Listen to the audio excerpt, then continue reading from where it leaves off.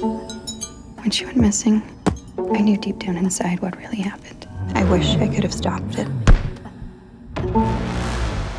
Beth? Beth! What's wrong?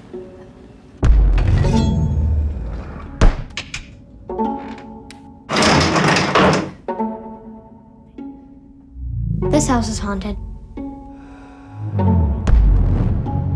You all right?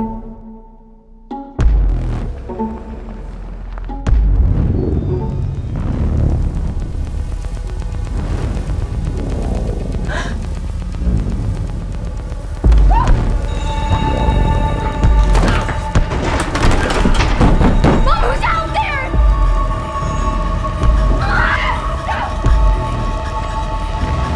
I'm gonna kill you.